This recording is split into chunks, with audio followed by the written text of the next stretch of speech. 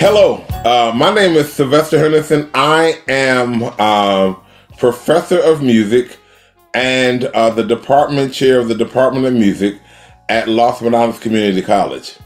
Um, in addition to those responsibilities, I have an organization that I've started entitled Professor for Life Incorporated, where I have an opportunity to interview various academics from all across the world. And today I am so honored that we are going to be talking with Dr. William Ackah, who is professor of geography uh, at Bur- from Birkbeck University in Great Britain, London. And so, welcome, Dr. Ackah. And um, we have a series of questions that we're going to ask you. And once again, uh, part of the California Educational Institution, we welcome your interview and we're grateful for your interview here uh, in America. So, welcome again, sir. Thank you. Good to be here. Okay. And so, Dr. Uh, Ackah, tell me a little bit about your academic career and journey. Okay. Yeah. So, so as I let me say, I grew up in um, Great Britain in uh, London, poor part of London in East London. My parents came from West Africa, from Ghana to England in the 1960s, where I was born. So I went to school here and then did my undergraduate study in the northwest of Britain, a place called uh, Liverpool. And then, really, I suppose what set me off on my academic journey was that after I finished my undergraduate degree in politics and sociology, I lived in Haiti for a year. I taught English um, there. And living in that country, you know, the first independent Black Republic in the Western Hemisphere, but seeing the conditions of what happened to Black people there and how they were living and the struggles that they were facing, that's what led me into postgraduate study. So I did a master's in Pan Africanism, and then I stayed on in Liverpool and then worked at, in a community centre, effectively a black community centre. That, whilst I was there, became a college. And I taught black studies and black history in that college. And that was essentially to people who had been disadvantaged at school. And then as black adults, when they came into our institution, they were bereft of confidence, bereft of a sense that they could succeed. So we taught black studies as a way of instilling those students with academic confidence and, and uh, philosophy. And then it was whilst I was at that college, I then did my doctorate and then got a job in a higher education college, a place called Edge Hill College. And there I was um, lecturing race equality studies. And then, and I'm sure we'll talk about it a bit later, the precariousness of working in UK academia meant that in those positions I was just on one year contracts, one year contracts. And so I I left that job and came out of academia for a while whilst I was completing the PhD. I moved to city of Bristol and I worked in administration, race equality administration, and then in university higher education administration, something called widened access, encouraging people from working class, poorer backgrounds into higher education. And then I completed my doctorate and then that's when I got a got the position at um, Birkbeck College, University of London. Yeah, started off there as lecturer, and now I'm senior lecturer or associate professor in Black and Community Geographies. So that, in a nutshell, is the journey that I've been on to where I am. Okay, you have uh, really unpacked a lot of information. One of the things that um, you said there are two words, race and equality. Can you talk a little more about that as it relates to your obtaining of your master's degree in Pan Africanism? I believe you said it was from your. Uh, now tell me the university again for your. So that was so that was University of Liverpool. Yes.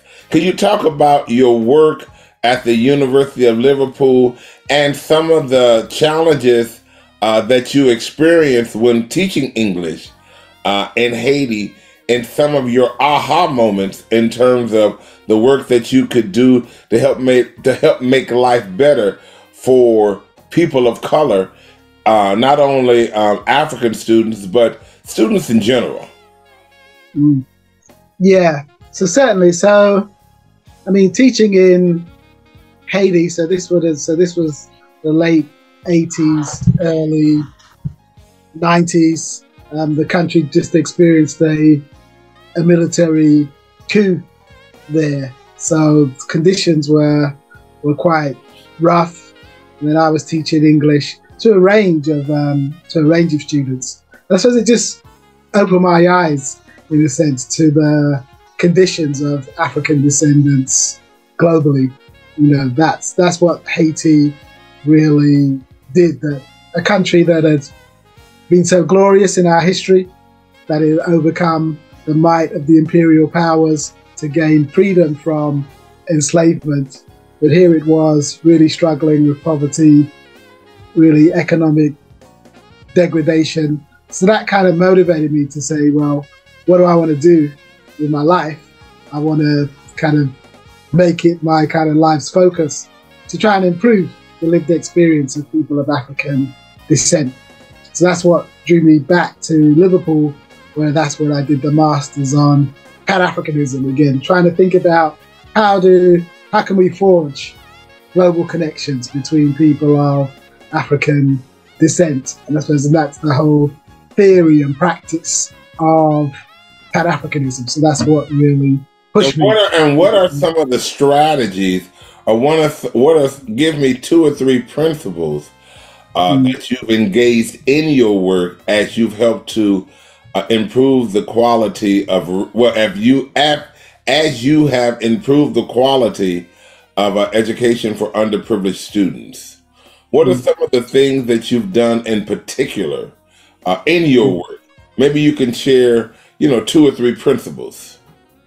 Yeah, so certainly, so teaching about then the the black experience. So, so in the UK, when I started even today, there were not many courses where you could learn and study about the experience of African descendants across the globe. And what you studied was very limited. So certainly in my teaching practice, I've developed modules, programs, courses where one could learn about the, the Black experience. Then I've also set up programs. So currently, like at a doctoral level, set up like a this is a kind of a mentoring program or a STEAM program where we bring together Black students from across the UK and teach them practices or principles about how to be successful at postgraduate um, level. Work with an organisation called Leading Routes in the UK, Blacks in Academia, which strive to again improve outcomes for Black PhD students. So I lead a seminar once a month. Led it in the past with colleagues, uh, Dr. Gabriella Beckles Raymond and Professor Robert Beckford.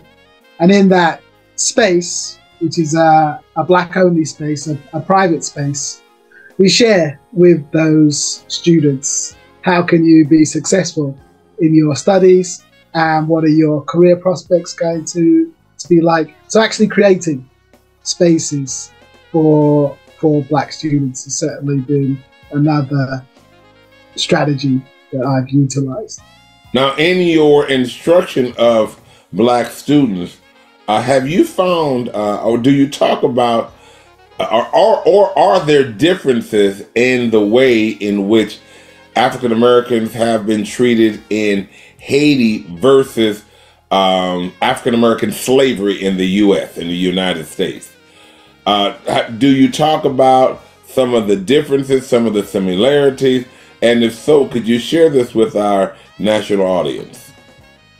Yeah, so um, yeah, so African descendants, because obviously Haitians are not African Americans. So so so African descendants in the different contexts, yes, have similarities and differences in their lived experience, and we do look at some of those um, issues in terms of yes, so the the experience of enslavement and what it did in those different contexts, and then looking at the different kinds of social movements that have, that have arisen. So, for example, looking at the kind of movements that have arisen in the UK, comparing them to the US and movements on the African um, continent. And I suppose then, and it's tricky because I suppose in each context, one might argue that we all experience forms of discrimination and uh, anti-blackness, but they might manifest themselves differently in certain um, contexts. So, and in, and in, and in the UK, so let's do UK US comparison. Our population numbers are small, so it's rare that you would have black only spaces. So we don't have um, black only institutions. We're predominantly teaching in white spaces, white institutions where where black people are most all the time in the kind of um, minority and oftentimes quite invisible in the, um, in that regard. So to introduce notions of black empowerment in those spaces in the UK, I suppose I would say it's much more difficult than it would be kind of in the US in certain cities where you've got a majority of people or you've got spaces where at least you've got a critical mass of black scholars and black students to engage with. Now, um, black empowerment. Wow, I like I like those two words. That combination. Um, as an as a uh, black academic and scholar, what are some of the personal uh, challenges and awareness awareness uh, that you have um, yourself um, experienced? What could you tell? What could you say to a scholar uh, or a young scholar, male or female, who may want to consider studying or following similar steps from your academic tra- trajectory, what could you tell them um, to look out for when studying in the UK? Because mm-hmm. it, it really, it really is amazing to me. Uh, as I told you, some of the other scholars that I know in Great Britain, I've always had a um, uh, even as a child, for some reason, I've always had a fetish with uh, the United Kingdom. Um, I like many of its construction, its buildings, and what have you. And the culture has always been very enriching to me. So, one of the things that I was uh, shocked to find was that there are really few black academics in the UK especially noted ones. Mm-hmm. And so, um, as a black academic, what could you tell a person uh, if they consider to, let's say, move from the United States to the UK to study or to look for work? What are some of the, uh, uh, I would say, watch points that the person would need to be aware of? Um, certainly that um, that racism in the UK is real, but it's much more subtle than it than it is in the in the US.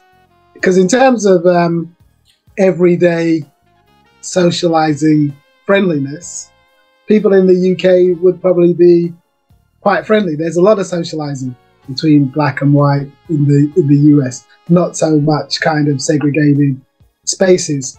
So that might make you think that everything is fair and justified, and because it's a liberal society, liberal institutions, people think, ah, it's it's fine.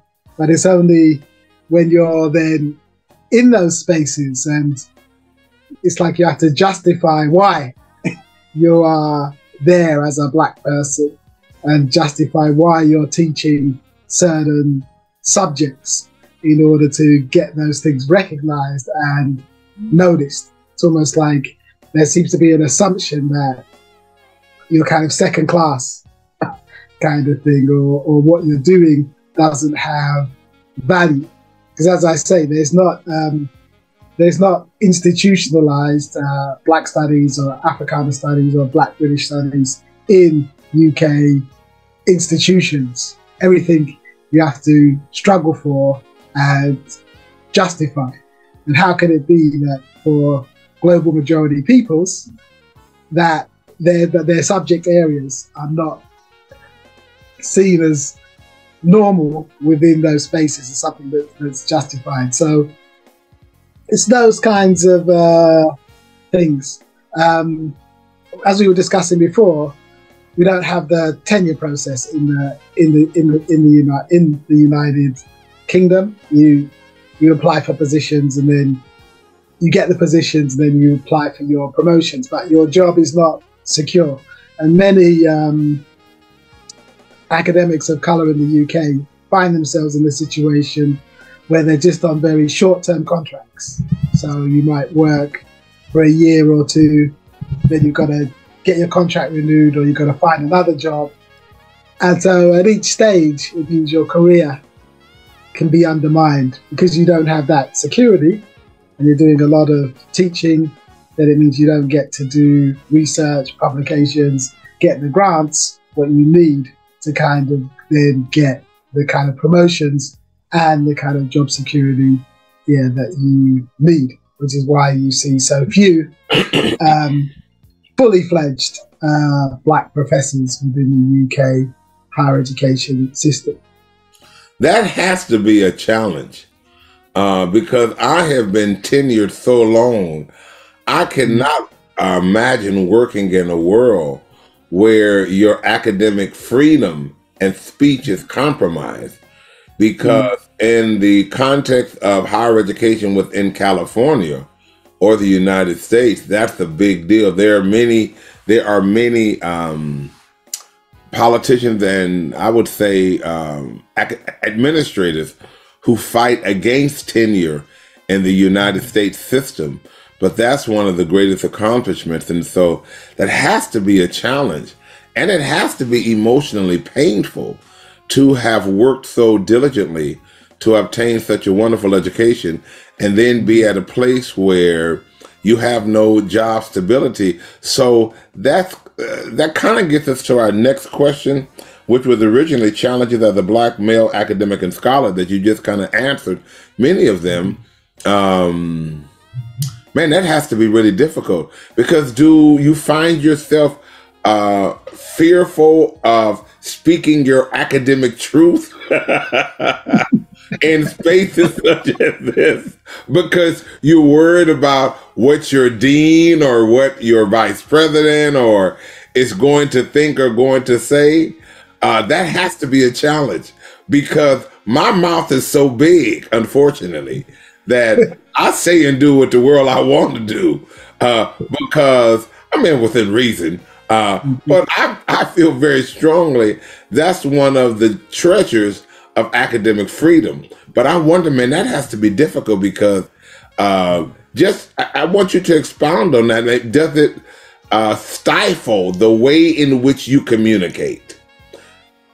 Uh, I suppose I would say that in a way I view my academic work as a as a calling so it's not so it's not kind of uh, dependent on who's paying me my wages in a, in okay. a sense. And in a way, that's what I would coming back to your previous question. In a way, that's what I would tell people who want to kind of enter into this system that my desire to do what I do comes because I want to, as I say, improve the lived experience of people in our communities, and that's what drives me. You know, the the academic space, for all its flaws and issues, it does provide a platform to do that, which is why I operate within that space. It does provide a, a platform to do things like this, to talk to the public, to to write, and to do those broader engagements. But I don't forget that those spaces are still institutionally racist and problematic, and that those need to be challenged. So yes, that is precarious, and it is a and it is a, a challenge because, like you say, you know, you you could come across people who don't like what you're saying, don't like what you're doing. But I'd say then you have to look, I would say, as a black scholar in the UK and in different spaces as well, not just the UK, you have to look bigger than your institutional space and look to what is it that you're being called to do and to always, in a way, keep that engagement with your community. So, alongside teaching in the university, I always try to do community activity. So, with some colleagues in the community, we host a space called the Black Pack, where we give, where we invite speakers to come and share the wisdom of the Black experience and give that to the community to share knowledge and wisdom with the wider community. And it's those kinds of things that um, keep me going. And also having international networks, because with so few black academics in the UK, and you're operating within white, is that it's very isolated. So to kind of get a sense of um, value for your work and its importance, it's almost like you have to seek that outside. So I'm, so I'm part of a, I'm a chair a network called the Transatlantic Roundtable on Religion and Race. And that brings together scholars, activists, faith based leaders from across Africa and the African diaspora. And we host conferences, produce reports. And that really gave a lifeline to my academic work. You know, when I was feeling some of those pressures in the UK, the sense of isolation and the sense of struggle, joining that network really yeah, empowered me, gave me a sense of validation and a renewal of spirit that, that what I was doing was important. And then and then the funny thing about the UK as well is that it's like those external validations, if you're working internationally, it they like it because it brings prestige then on the on the institution. So it's almost like they don't you didn't get the support initially, but then once you were engaged in that kind of work, then the university gets recognition for that and then starts to like those kinds of things that you're doing. And then you can get recognition for that work. That's, that's wonderful. Uh, you have just shared a lot of wonderful uh, mm-hmm. principles and realities with our uh, viewing and listening audience. Um, i want to before we go to question number three um, you said something that's very very important to me because I'm a man of faith, is that you look at your work as a calling, very much like a ministry. So more like, kind of like a pastor of uh, of uh, social justice, you know, in terms of what you've done, uh, because everything that you're talking about are many of the principles that are found in the good book, and um, and I'm talking more just from a humanitarian standpoint about helping people and improving race inequality and improving just the conditions of our lives uh, overall. So I appreciate uh, you sharing those principles. Listen, um, the next question that I would like to ask is social justice studies in the UK with African American studies. Can you talk about that a tad more? In um, we've had African American studies in the United States for some time. Um, not that it has really been developed uh, like it should, not that it has um, really been respected like it should, but it's been on the books for an adequate amount of institutions. Now, whether the institutions administratively or politically really honor uh, what's on the books is another dilemma to discuss. But um, how do you develop, or what are your experiences regarding the definition of social justice studies and the struggles of trying to infuse uh, African American studies principles courses within the UK system, systems, not necessarily your university in particular, but just in higher education, the context of higher education in the UK? Hmm. Yeah, well, it's certainly been a uh, a challenge, and I'd say it's kind of light years behind the behind the US. Like I was teaching a course, teaching a module just last night about the kind of the trajectory of Black Studies in the UK compared to the to the US. So, so in the UK, really the, the impetus for that those kinds of studies again emerges out of community. So black parents were, were their children being failed in the education, the mainstream education system in the UK in the late 60s. I mean, it goes back much further, but this is the, the kind of um, genesis. So they established what were called supplementary schools or Saturday schools. And it was there that they started to teach their children Black studies, Black history, to give those children a sense of value. Because in school, they were being discriminated against.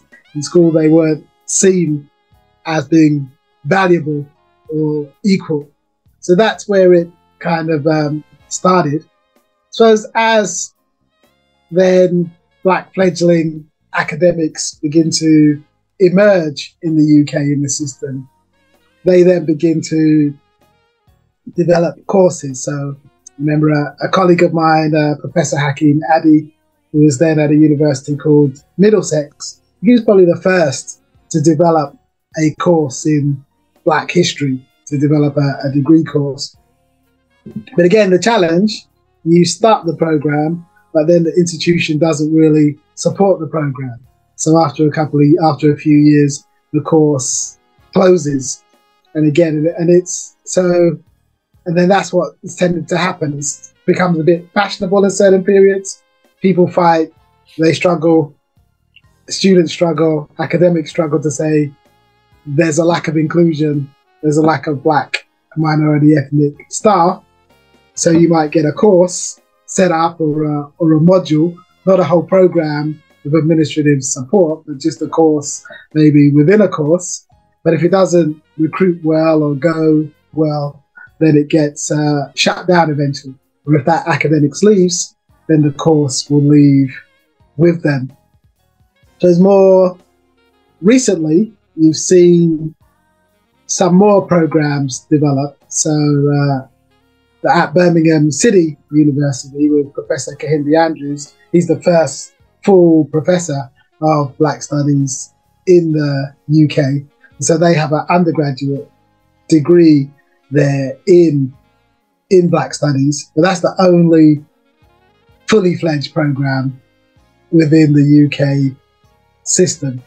You have other programs. I think there was like um, a master's program in Black British History at uh, Goldsmiths, University of London. But again, they brought the person in to develop that program and design that program.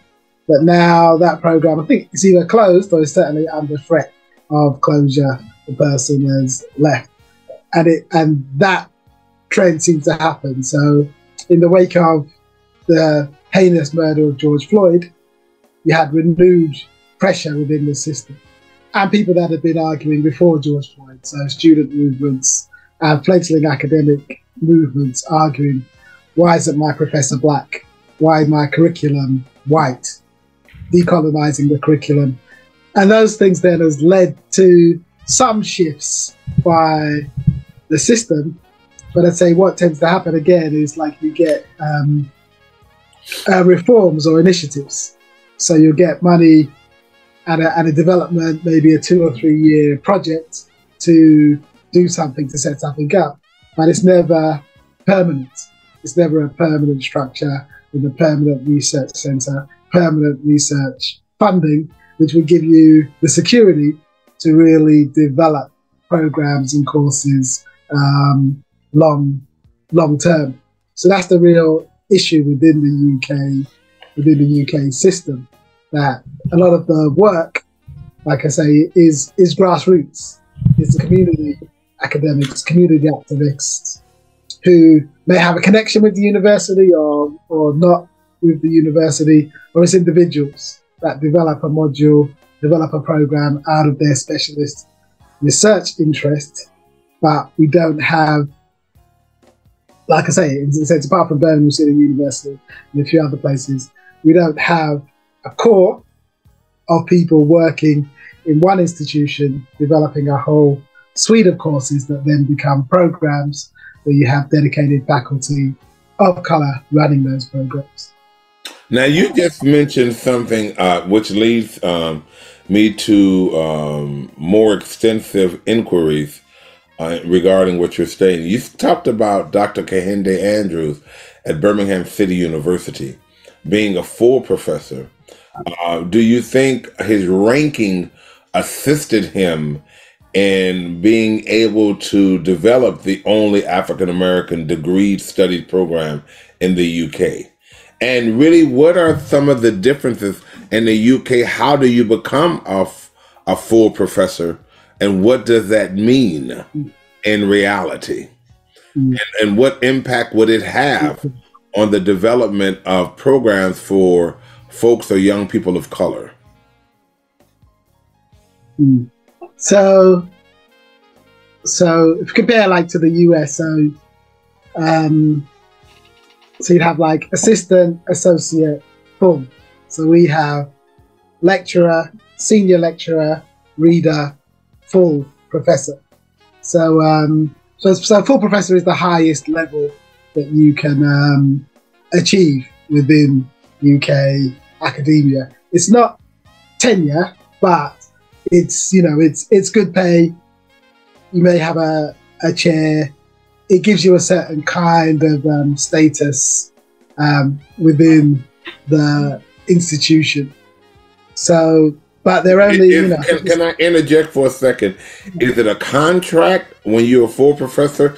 Are you given like a 10 year contract, a five year contract, or the contracts, are they still the same a year uh, appointments? No, no, no. So it's, um, so it's uh, open ended, but but it's not like the it's not like the it's not like the US. So it's open ended, but you can still you can still be fired, or you can still be made okay. redundant if, if the institution has problems, financial or those kinds of things. So it's not it's not guaranteed um, regardless, but it does give you a certain amount of security and a certain amount of um, authority within the hierarchy of uh, of UK academia. But the issue is, I suppose, is that it's not so much like the individual. What I say is like you need a, a critical mass. You know, if you want to run a program in Black Studies, like you can't just have one scholar. you know, you got to have like four or five scholars. You got to have a department, haven't you? So, so, so where Birmingham City has achieved is actually that it has a department with a critical mass, but it's probably the only department in the UK that has that critical mass. Most other departments, you can name the departments, whether it's geography, politics, history, sociology. You know, you probably got to find at best two scholars of color working in a department, and probably the because most places you're going to find one scholar one black scholar, one African descendant scholar working. So obviously, so you can't develop a whole program.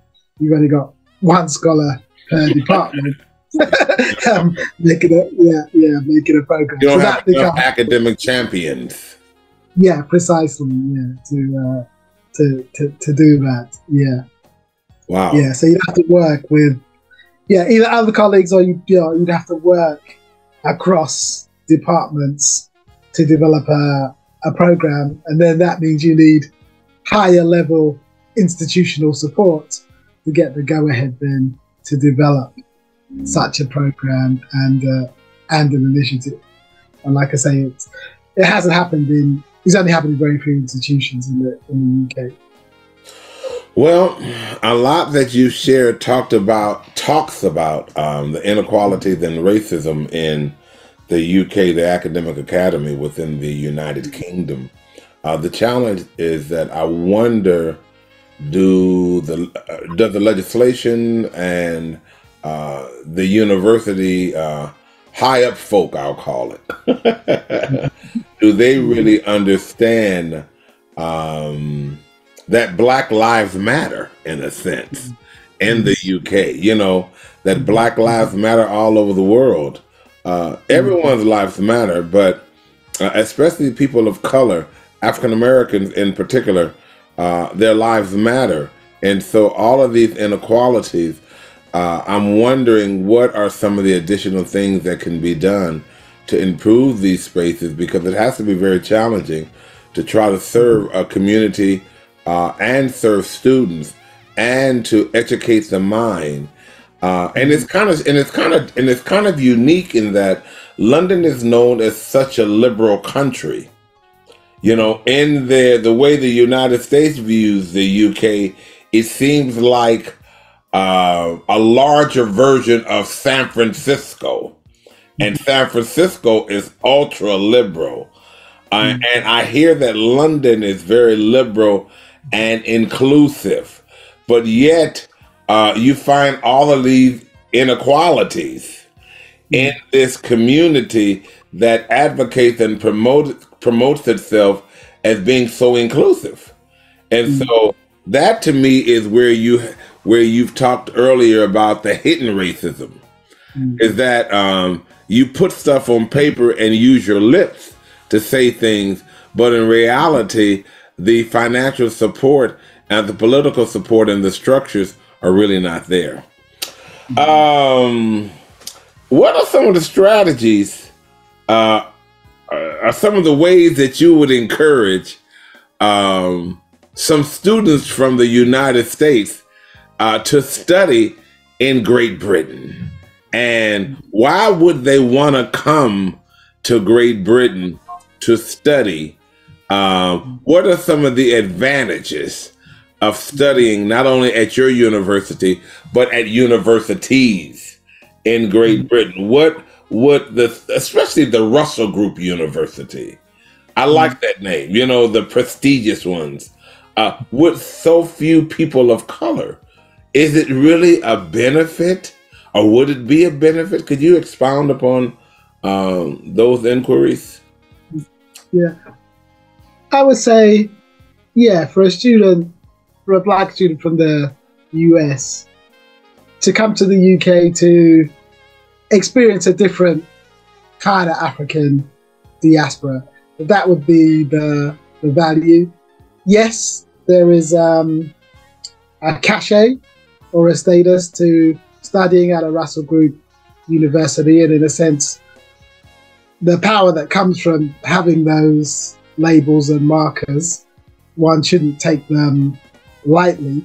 But I wouldn't say just come to the UK to do that, because if you get caught up in that ivory tower, you may find that, yeah, you know, as you say, you may gain the whole world and lose your soul.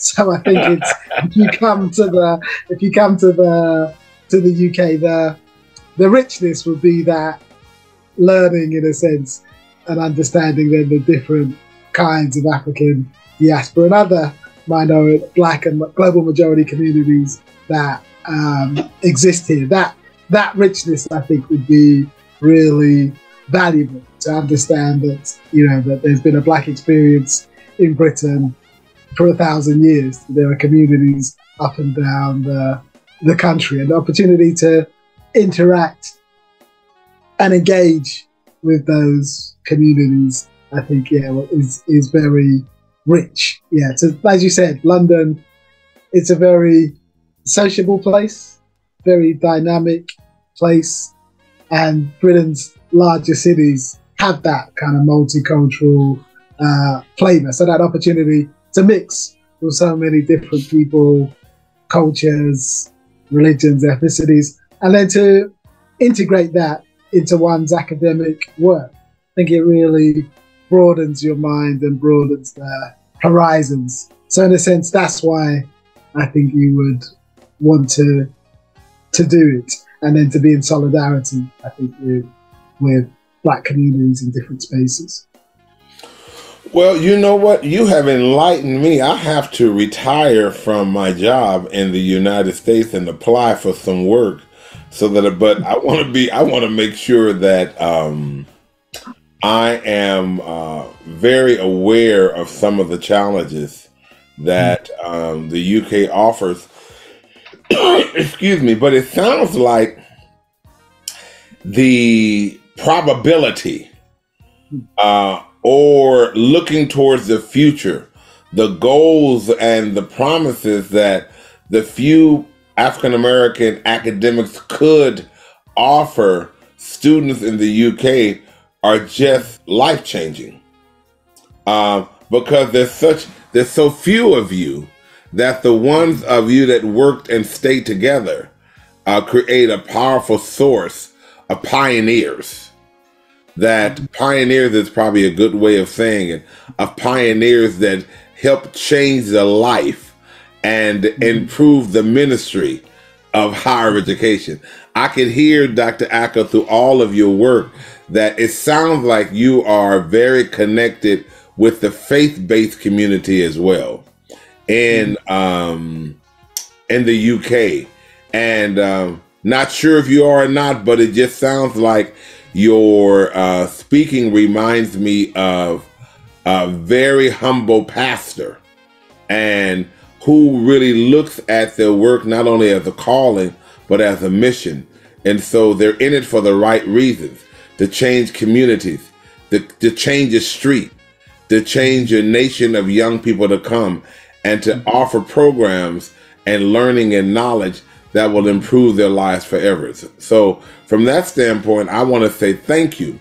I have completed my questions that I have for you, and I want to know if you have any questions of me or if there's anything else you would like to share with our listening audience uh, before we conduct our interview.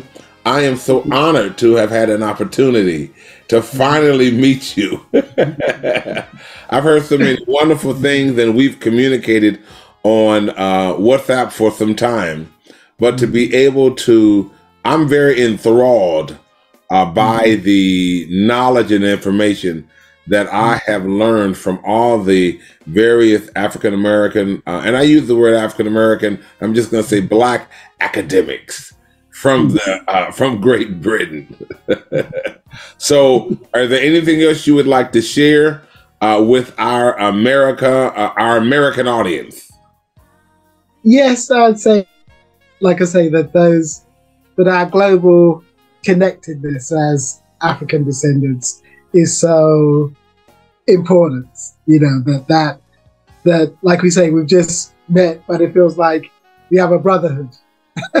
you know, and, it, and it's that power. Because I have to say, you know, when I talk to students in the UK, and we might think of ourselves sometimes that we're in a minority, that we're small in number, that we are, you know, fighting against uh, the tides, but the inspiration can be broader. We're part of a bigger global African descendant community. And as we forge these connections, as we have dialogues like this and people listen around the globe, I think that inspiration carries through. So in a way, it's it's just an encouragement that whatever space you're in, like like to give credit to the work that you're doing, that what you're doing that shines a light on these issues, lifts up people in different hemispheres, is so important, isn't it? And it may not show itself immediately, but over time, we see that change does happen, and we've got to keep pushing and keep pressing on. So I really thank you for the for the opportunity. Thank you for the incredible work that that you're doing to kind of lift up these spaces. And I hope that people watching, whether that's in the UK, US, Brazil, wherever across the African diaspora, Nigeria, Ghana, South Africa, that they kind of realize, yes, that they're part of a big global family and that we need to support each other. Well, Dr. Ackah, you are my brother. You know, mm-hmm. I'm hoping one day to be able to attend your conference uh, physically one day when I make it to Great Britain. And if ever you make it to the United States, um, I live in a little city called Stockton, California, presently. I moved here recently. Um, I would be very honored to host you and to welcome you. I want to thank you on behalf of my company, Professor for Life Incorporated, for taking the time to share your academic principles, your journeys, and your beliefs. Um, from that standpoint, we're going to close our interview. I wish nothing but blessings for you in the future for all the work you do. But even if we don't talk daily, there is an emotional connection that I agree that we have established as brothers, as academic brothers. God bless you and hope to talk to you soon. Thank you. All right, then. God bless you. Bye bye now.